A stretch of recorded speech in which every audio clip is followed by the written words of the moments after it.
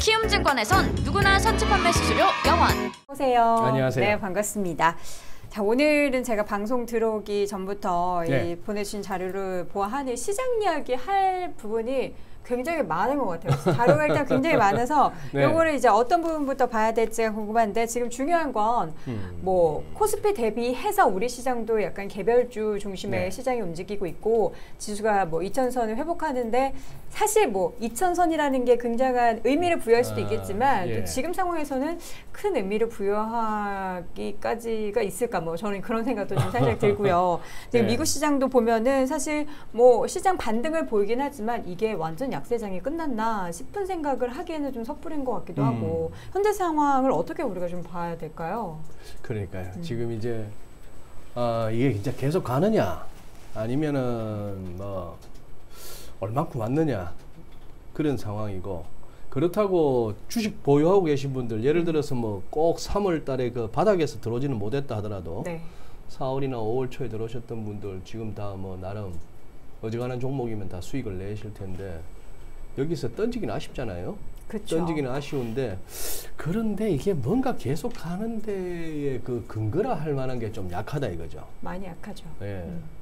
그래서 지금 이제 준비한 자료가 많아서 한번 쭉 한번 훑어보면은 네. 미국 S&P 500입니다. 얘는 지금 이제 하나 남았어요. 200일선만 올라서면 좋을 것 같은데 3,000포인트. 지금 지난 주말 2,955포인트. 오늘 미국 장 놀죠? 네. 아마 Memorial Day로 노는 것 같은데 한 45포인트 어, 단숨에 해결하기는 좀 힘든 그런 레벨이죠. 자, 그런 상황에서 그 다음에 S&P 500 갖다 위클리로 보면은 이제 뭐 이런 상황입니다. 자, 여기서 지금 이렇게 한번 볼 수 있는 겁니다. 지금 여기서 이렇게 위클리로 봤을 때 쭉 한번 빠지고 이걸로 끝인가? 자, 다들 겁내는 건 이거예요. 과거 경험도 그랬고 뭐 차트라는 게 그렇고 또 파동 이론에서도 그렇고 이렇게 이게 A라고 한다면은 현재 이거 B파 진행 중이면 C파가 있을 것 같단 말이에요. 베스트 시나리오는 지난번 저점 정도에서 멈추고 이중 바닥 만들어주면 베스트고 아니면 이게 C가 지난번 저점까지 깨고 내려가는 상황이라면은 이건 정말 상황이 안 좋다는 건데 그렇죠. 다우지수는 S&P보다 조금 못하죠. 200일선이 아직 한참 멀, 멀어 보입니다. 근데 나스닥은 그림이 달라요. 20, 200일선은 훌쩍 올랐었죠. 우리 코스닥도 마찬가지고 그런 상황인데 자 여기서 일단 이렇게 한번 봅시다. 아마존이에요. 아마존인데 오늘은 여기 기술적 보조 지표하고 주가 끝부분 한번 보시죠. 제가 자주 드리는 말씀 주가는 올라갑니다.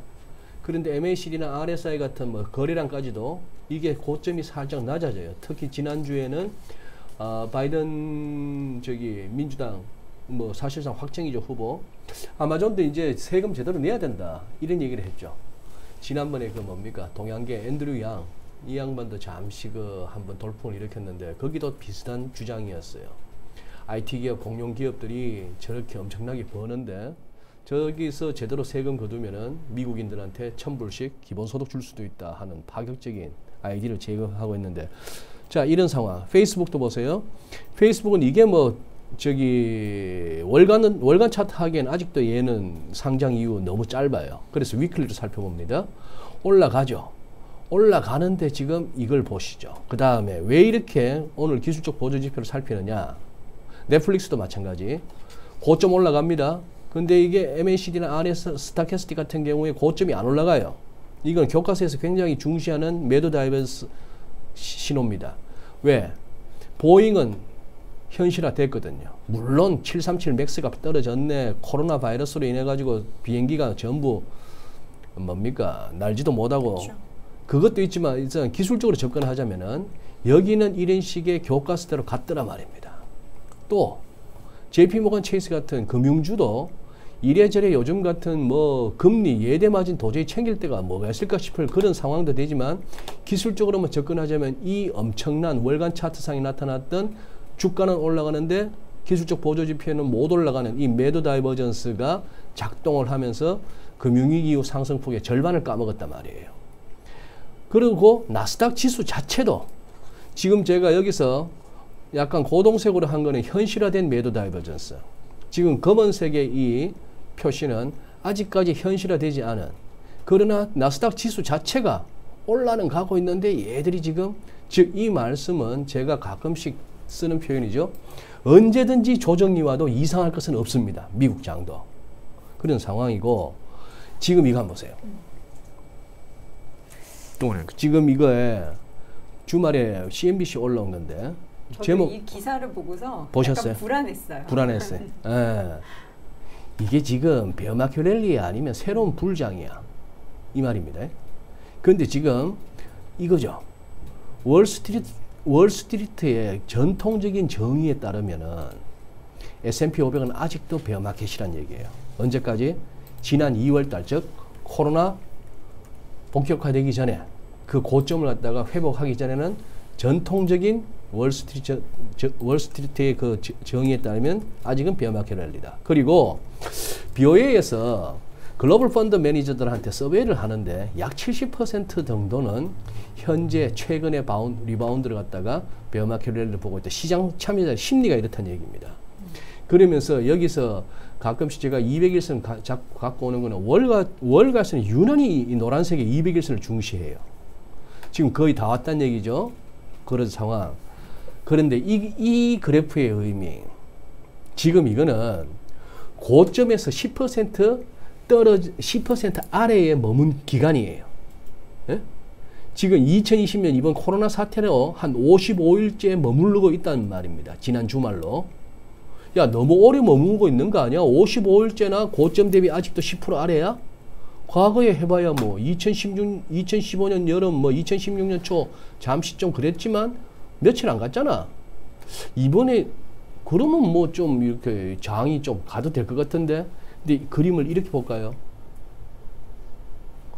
과거 블랙먼데이 때나 블랙먼데이 때나 2002년 닷컴 버블 무너질 때나 금융위기 때나 이럴 때는 그 직전 고점에서 10% 아래에서 머물른 게뭐 천몇백 일도 됐고 천일 가까이 한 3년 걸렸단 얘기야. 한 5년 걸리고 거기 비하면은 이번은 이거예요. 지금 앞그림하고는 얘기가 다르죠. 이걸 보면은 야 이건 너무 회복이 쉬운 거 아니야? 이렇게 생각을 할 수 있다는 얘기입니다. 자 그리고 이렇게 그림을 또 그려놔도 느낌 오시죠? 과거 위기 상황 때 이렇게 주가가 어 하고 나서는 세월이 좀 걸렸단 말입니다. 닷컴 버블 때는 3년 갔잖아요. 4년 가까이. 근데 이번에 코로나는 이 실물 경제에 엄청난 타격이 왔다는데 이걸로 끝? 이렇게 보기가 좀 찝찝하다는 얘기입니다. 그래서 이제 자꾸 이 가고 있는 장에 꾸물꾸물 가고 있는 장에서 뭐 오늘은 이런 표현을 갖다가 다른 매체에서도 한번 썼습니다만 골프로 치면은 드라이브 샷 처음에 딱 때리면 어떻게 돼요? 쫙 치솟죠. 음, 네. 쫙 치솟고 아주 프로들 중에 또 아마추어들 중에 잘 치는 사람은 한 번 더 뜨죠. 그러다 이제 이렇게 휙 포물선을 그리고 이제 짠 떨어집니다. 네. 페어웨이든 러프든 떨어지고 나서 그 다음 우리가 기대하는 건 뭐죠? 조금씩 똥, 좀. run으로. 가야죠. 예. 지금 2천도 머리를 맞대봤고 코스닥은 코로나 이전 레벨까지도 올라섰고 드라이브 샷으로 때릴 수 있는 때까지는 때렸고 이제는 조금만 run이 좀 더 나와라 하는 차원인데 다행스럽게도 지금 이 드라이브 샷한 공이 내리막을 타고 있어요. 음, run이 좀 탄력을 run이 좀 받아야 나올. 수가 있어요. 왜 내리막이냐? 예전 같았으면 지금 굉장한 화력과 집중력을 보유하고 있는 외국인들이나 기관들 가운데에서 야 이거 좀 과한데 실물 경기 대비 주가 오른 게 너무 급해해서 공매도로 한번 혼을 낼 겁니다. 공매도를 하지만 지금 하지 못하죠. 예, 지금 오늘 나온 기사도 그런 게 있죠. B2 빚으로 투자하는 이게 지금 코스피 코스닥 할 것 없이 시가총액 대비 코스닥이 더 높죠. 뭐 거의 뭐 코스피가 한 5조 몇천억, 코스닥은 4조 몇천억인데 그런 식이니까 그러니 지금 조금 런을 런으로 이렇게 공이 생각보다 멀리 가고 있는 겁니다. 근데 저는 이제 또 이 기사도 보고 이제 우리 또 하락장을 굉장히 좋아하시는 그 외국인 분 한 분 계시잖아요. 짐 로저스. 그분 또 신나게 또 인터뷰 하시더라고요. 음. 항상 그 말씀 하시는데 내 생애 최악의 하락장. 그리고 또 어, 각국에서는 지금 열심히 금융 정책이나 여러 가지 정책 중앙은행에서 정책들을 펴는데 이게 사실 지금 당장 경기를 살리는 데는 물론 좋지만 여기에 따른 부작용은 분명히 있을 네. 건데 그것에 대해서도 이제 중장기적으로 봤을 때는 분명히 우리가 우려를 해야 된다라는 목소리를 하락할 때마다 조금씩 조정을 보일 때마다 그런 얘기들이 좀 더 크게 헤드라인을 음. 장식해서 네. 그러한 부분을 저는 좀 불안하게 여겨서 예. 좀 수익을 냈으면 미리 챙겨야 하나 내년을 본다면 벌써 아. 미리 챙겨야 되나 그런 좀 걱정도 되더라고요. 잘 잡으셨다면은 단가가 좋다면은 지금 먼저 나오실 이유는 없어요. 아직 공이 내리막 타고 있어요. 내리막이 그렇게 가파르지는 않- 않아졌는데 공이 아직 서지는 않았으니까 음, 이러다가 조금 더 굴러가고 혹시나 또 가, 간간히 뭐 도로 타고 한참 내려갈 수도 있으니까 그런데. 네. 그런데 네. 짐 로저스가 됐건 무슨 뭐 여러 스티븐 로치가 됐건 뭐 어쨌거나 우리가 시장에서 구루라고 하는 사람들 나름대로 저 사람들은 그래도 과거에 제법 insight가 좋았다 그리고 시장을 잘 쫓아왔다 그 사람들이 말한 그 다음 바로 그런 현상은 안 일어나지만 그죠? 근데 그 사람들 갖다가 이제 요즘은 조금 이런 분위기를 느끼죠. 저도 묻어서 그분들 쪽에 반열에 서고 싶은데 저 꼰대들 세상 달라진 거 모르는 옛날 경험으로 어? 자기들 때는 없었던 엄청난 재정 정책과 통화 정책 유래를 찾아볼 수 없는 그런 거라서 좀 이렇게 평가절하되고는 있습니다. 그러나 새겨 들을 필요는 있죠. 오늘은 우리 저기 시- 시장 돋보기 시간을 통해 가지고 우리 시청자 여러분한테 이 사이트를 보시는 분들도 없잖아 계실 겁니다. 유료 사이트라서 글로벌 모니터. 글로벌 모니터에서 많은 그림들을 한번 가져와 봤습니다. 네. 자, 지금 이거는 그거예요. 이른바 PER이에요. 여기 보시면 은 forward PE 레이셔죠. 즉 12개월 후 예상되는 어닝을 분모, 지금 주가 이렇게 했을 때 이게 지금 뭐다? 거의 닭한 법을 무너지기 전 수준까지 왔다 하는데 여기서 다만 이제 뭐 정, 월가나 어디나 PER은 구해냅니다만 저로서는 또 그리고 다들 이 얘기는 해요. 야 지금 이 와중에 무슨 12개월 후에 기업들의 수익을 추정이 가능하냐? 기업들이 아예 1분기 수익 1분기 내놓지 그거 실적. 발표하면서 2분기, 3분기 guidance를 갖다 제시를 못하는 판국이에요. 애널리스트 너희들이 뭔 재주로? 뭐 이런 얘기도 있습니다. 가을에 찬바람 불고 나서 코로나 다시 한번 오면 이거 어쩔 건데 그러나 대충 저 정도 느낌은 오죠. 그런데 이 그림 말이에요. 이 그림 보시면 놀랍습니다. 자, 찰스 슈왑, 뭐 이트레이드, 뭐 인터랙티브 브로커스 이런 식으로 해가지고 미국에서 4대 온라인 증권사가 3월, 4월 끝에 두 개 막대 그래프입니다. 3월, 4월 두 달에 걸쳐서 신규 고객이 자, 뭐 몇만 명이 중요한 게 아니고 추이를 보세요. 느낌이 오죠? 장대. 무슨 미국도 우리나라 마찬가지로 개인 투자들이 엄청 늘었네요. 저거나 우리나 마찬가지일 거예요. 네. 미국에서도 동학개미인가? 네. 어쨌거나 신규 실업수당 청구 건수처럼 올라갑니다. 거래량도 폭발해요. 저렇게. 이걸 갖다 이렇게 설명합니다. 늘 그동안에 많이 들었죠. FOMO, Fear of Missing Out. 야, 이거, 이거 어리, 어리버리하다가 이 기회 놓치는 거 아니야? 이 장 놓치는 거 아니야? 하는 거. 이제는 또 TINA라는 용어까지 나왔네요. There is no alternative.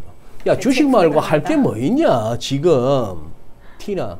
무슨 여자 가수 이름 같습니다만. 예. 자, 이 그림 뭔지 아세요? 이분 되게 유명하신 분이잖아요. 알아요? 음, 사진만 많이 봤어요. 사진만. 근데 저는 저걸 보면서 음. 저분을 따라서 따라서 그래요. 이것도 글로벌 모니터에서 제가 가져, 인용한 겁니다만 데이브 포트노이 스포츠 베팅 오락 사이트 바스툴 스포츠의 설립자랍니다.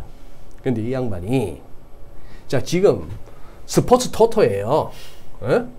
지금 베팅을 해야 되는데 뭐가 스포츠가 돼야 말이지 안 되잖아요. 그 주식으로 오신 건가요? 우리 이제 한국 해봐야 이제 겨우 관중들도 없이 재미없이 지금 이제 프로야구를 시작했는데 이 양반이 바닥을 제대로 찍었네요. 3월 23일 날 그날 바닥이었잖아요. 300만 달러 갖고 데이 트레이딩을 했답니다. 이걸로 제법 돈을 만들었더라고요. 어디다가 지분 매각하면서. 근데 이걸 트위터로 생중계를 하는데 트위터 팔로워만 145명, 인스타그램 팔로워는 245만 명. 그랬더니만 짐 비앙코라고 그 유명한 비앙코 리서치 회장 이 지금 포, 포트노 포트노이가 CNBC나 블룸버그 보는 사람보다 더 많은 사람들이 지켜본다는 거예요. 지금 생중계하는 거 보세요, 이거. 단추나 좀 잠그지. 이, 예, 예, 뭐 이러고 있는 거예요. 현재 미국에서 가장 중요한 주식 트레이더예요. 뭐 짐 로 저기 짐 로저스고 뭐고 뭐 뭡니까 그 우리 그 할배 워런 버핏. 워렌 버핏이고 다 필요 없고 지금 한 3, 400만 명이 이 친구 뭔 소리 하나 얘 뭐 들고 있나 익하고 있는 중입니다. 시세를 조작하는 거 아닌가요, 그러면? 시세 조작일 수도 있겠지만 그래서 그렇게까지 얘기하는 거죠. 다들 지금 셧다운된 상황 하에서 아무것도 할 수 있는 게 없고 스포츠도 운동도 뭐 아무것도 못하는 상황에서 아닌 게 아니라 스포츠 배팅 하던 사람들도 마작 하던 사람들도 뭐 다 지금 이거밖에 할 수. 그래서 제가 지난주에도 말씀드렸잖아요. 좀 민망한 표준으로 우리 시청자 여러분이나 투자 여러분께 죄송하던 전제하에 지금 나가서 얘기하시면 뛰어서 노, 노가다 할 데도 없습니다. 뭐 좀 쉬라고 해서 언제 다시 회사로 나갈지도 모르겠습니다. 지금 우리가 미국도 한국도 저게 큰 거예요. 그러면 여기 이러한 흐름 하에서 우리가 조금 한번 도출할 수 있는 결론은 있죠. 우리는 이제 유럽의 공매도 금지했던 한 6개국 정도, 이탈리아부터 해서 뭐 이런 나라들은 이제 공매도 규제 이제 없애고 공매도 치려면 칠 수 있습니다. 근데 우리는 지금 금융위 입장으로 봐서는 9월까지 그냥 가겠다는 거예요. 이 기울이진 농장은 계속 가고 그동안에 기, 개인들은 얼마나 공매도에 원성이 강했습니까? 좀 오를만 하면 패더라. 지금 이거 하나 없는 것만 해도 얼마나 좋아요. 그러니까 지금 우리가 이렇게까지 가는 거죠. 어디 갔나? 지금 코스닥이 만약에 공매도가 있었으면 이렇게 못 갔겠죠. 코스닥이 그렇습니다. 그러니 그걸 갖다 우리가 인증을 해야죠. 아 지금 우리 우리 우리 주, 우리 우리 그걸 갖다 뺐네요. 차- 차트를 뺐는데 우리 코스닥은 지금 뭐 거의 코로나가 어디 있었어? 이미 너무 좋죠. 네, 이런 분위기죠. 네. 맞아요. 네, 이 가운데서 이제 중요한 건 이제 우리 소장님께서도 앞서 말씀해 주셨던 것처럼 다행히도 당분간 공을 조금 더 굴러갈 수 있는 그런 환경이 아, 됐다라고 하는데 아, 근데 사실 골프도 쇼게임이 마지막에 중요하잖아요. 맞아요. 그쵸? 그 설거지 잘해야죠. 우리가 그거를 음, 드라이브 안만 잘 쳐도 개인 투자자들이 어떻게 할 수는 없는 거고 음. 뭐 기업이 잘 다시 회복이 되고 네. 정부의 정책들이 정말 실질적으로 실물 경제에 영향을 잘 미치고 네. 그런 것들을 바라할 수밖에 없는 아, 상황인데 이 가운데서 이제 아시아권 얘기 하나 더 하자면 이제 홍콩 시장에서 음, 이제 네. 주말 사이에 계속해서 나왔던 게 이제 국가보안법 관련한 처리 네. 문제예요. 이거는 또 새로운 변수가 되는 것 같은데 어떻게 그러니까요. 뭐 뜬금없이 홍콩을 들고 나왔습니다. 뭐 예상했던 대로 경제 성장률 전망치도 제시를 못했어요. 시진핑 주석의 레토릭이 재밌었습니다. GDP 성장률 가지고 영웅을 만들고 싶지 않다. 이랬는데 뭔 영웅은 영웅입니까? 그냥 그동안에 맨날 뭐 6.6%가 됐건 8%가 됐건 제시하면은 각 지방 정부에서 숫자 만들어서 막 보내느라고 숫자 안 나오면 맨땅 팠다가 다시 엎었다가 뭐 메꿨다가 군바리들 하던 그걸로 그거 다 GDP 창출 되니까 뭐 그런 좀 식으로 되네요. 그런 식으로 하고 뭐 유령 도시 세우고 뭐 차도 안 다니는 도로 옆에 또 도로 하나 더 깔고 이런 식으로 해서 GDP 만들어 왔는데 그걸 갖다 이제 영웅이라고 표현을 했던 거죠. 근데 그거보다는 지금 이제 성장률을 갖다 제시할 형편은 못 되고 그러한데 갑자기 이제 홍콩을 들고 나온 거죠. 조금 이제 뭐랄까 이 코로나를 가지고 이제 중국에서 미국에서 계속 압박이 오고 하니까 약간 전장을 갖다가 한번 옮겨볼까? 홍콩, 대만 이런 쪽으로 위구르 이런 걸로 해서 한번 티격태격 해볼까? 그 왕이 외교부장이 그 뭐 권력 서열이 그리 높지는 않은데 제법 언론을 타죠. 우리는 미국 보고 뭐라 안 그럴게. 너도 우리 보고 뭐라 그러지 마. 핵심은. 그냥 우리 이렇게 살게 냅둬. 너가 왜 그래? 이겁니다. 각자, 각자. 그래서 어떻게 될지는 모르겠는데 작년 범죄 송환법 범죄인 송환법 때는 홍콩 시민들의 절반 가까이가 거리로 나왔지 않습니까? 이제 그거는 힘들 것 같아요. 우선 지금 예고된 이 법 자체가 무섭고 제가 홍콩 시민이 입장 바꿔봐도 또 그리고 마스크 쓰고 누가 지금 감염자 보균자인지도 모르는 상태에서 그렇게 모이기도 어렵고 그래서 지금 이제 당분간 봐야 되는데 이렇게 봅니다. 홍콩 항생 이걸 제가 계속해서 몇 주 몇 주째 주목하고 있는데 항생 월간 차트 한번 보시면은 이때가 97년 아시아 외환위기 왔을 때입니다. 그 노부부 노부부 홍콩의 노부부가 망연자실한 채 시세판 들여다보던 그 사진이 아직도 생생합니다만 어제 한 30분 구글링을 했는데 그 사진을 못 찾았어요. 아마 우리 old generation들은 생생할 겁니다. 어지간한 일간지에 일면에 다 올라왔어요. 그 사진. 닷컴 버블 무너졌을 때, 그 다음에 금융위기인데, 자, 지금 문제는 금융위기 이후에 이 추세선을 갖다가 지난 3월달 코로나 때, 코로나 때문에 살짝 물고 왔다가 지금 같이 반등은 나왔는데, 지금 이 느낌이, 느낌이, 제 일감이 이거는 이 선못못 지킬 것 같습니다. 홍콩은. 그러면 이게 이 추세선, 금융위기 이후에 추세선이 깨졌을 때 어디까지 홍콩이 흘러내리는가? 분명히 내가 홍콩에 돈 태우고 있는 국제자본이라 하더라도 돈 뺄 것 같아요. 그런 불안하네. 상황이고 어, 지금까지는 달러 페그제 고정 환율로 가고 있는 홍콩 달러 시세 뭐 그걸 갖다가 아직까지는 큰 움직임은 없어 보입니다만 그 두 개는 계속해서 우리 시청자 여러분께서도 뭐 관련 real time으로 시세 확인할 수 있는 사이트들 많으시죠? 홍콩 달러하고 항생은 한번 추가하셔가지고 수시로 한번 확인하시면서 갔으면 좋겠습니다. 그런데 오늘 뭐 1% 정도라면은 뭐 그렇게 시장이 뭐 패닉은 아닌 것 같아요. 홍콩도 그렇고 아르헨티나 저 뭡니까 뭐 기술적 디폴트 얘기도 나오고 시장이 엔간해서는 끼껏 안 합니다. 즉 이게 제가 느낌이 그거예요. 시장이 약하, 약한 장이면은 아무것도 아닌 것도 악재를 만들어요. 약간 맷집이 세졌네요. 그럼. 그 지금 이제 맷집이 센 거고 장이 참 믿는 구석이 있는 거죠. 그리고 또 그 믿는 구석 중에는 그겁니다. 나는 아니라 하더라도 이번 장에 못 올라탄 친구들 지금 다들 현금 붙들고 기다리고 있잖아요. 장만 빠져라. 기회만 와라. 지난 3월처럼 한번더 빠져줘라. 나 뒤도 안 돌아보고 들어가겠다.